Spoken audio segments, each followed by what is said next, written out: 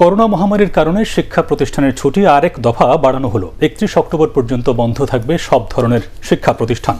নভেম্বরের মধ্যে স্কুল খুলতে না পারলে বার্ষিক পরীক্ষাও হবে না বলে জানিয়েছেন প্রাথমিক শিক্ষা সচিব। রিপোর্ট করছেন মাহবুব কবির চপল। অন্য সব কিছু প্রায় স্বাভাবিক হলেও চার কোটি শিক্ষার্থীকে নিয়ে ঝুঁকি নিতে চাইছে না সরকার।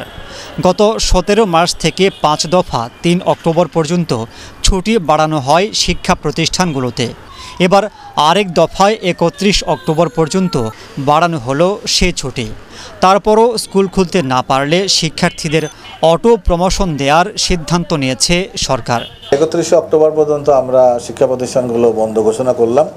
এখন পরিবেশ, পরিস্থিতি বলতে পারবে যে আমাদের নভেম্বর এক তারিখ থেকে ডিসেম্বরের উনিশ তারিখ পর্যন্ত এই সময়টা চল্লিশ দিন জন্য আমাদের একটা ফাইনাল একটা ইয়ে আছে পাঠ পরিকল্পনা আছে, সংশোধিত পাঠ পরিকল্পনা।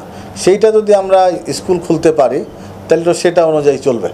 তাহলে আমরা এটা মূল্যায়ন করতে পারব। তো যদি স্কুলগুলো না খোলে, যদি আমরা, আমাদের শেষ অপশানটাও যদি আমরা ব্যবহার করতে না পারি, তাহলে কিন্তু আপনারা বুঝছেন যে কী হবে আসলে। সচিব জানান, শিক্ষাবর্ষ বাড়ানোর সুযোগ নেই। তবে পহেলা জানুয়ারিতে বই উৎসবের প্রস্তুতি চলছে পুরোদমে।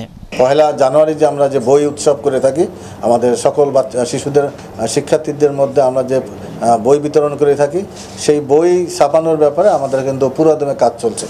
তো আমাদের কোভিড পরিস্থিতি স্বাভাবিক হলে আমরা নেক্সট ইয়ারেই আমরা নতুন বই বিতরণ করব, আমার নতুন সেশন শুরু হবে।